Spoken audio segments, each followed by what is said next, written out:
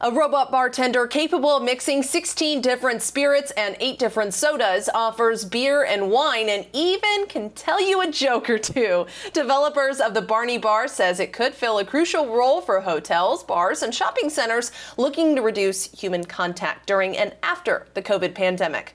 Corona will be over one day maybe, but there will be the next epidemic. So the gastronomy field will also look for new concepts.